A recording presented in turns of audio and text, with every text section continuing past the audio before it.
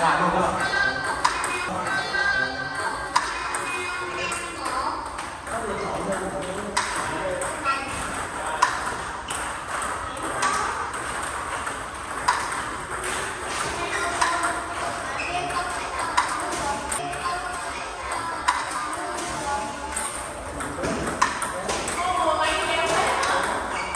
Tới là được, nhắc tay lên là thôi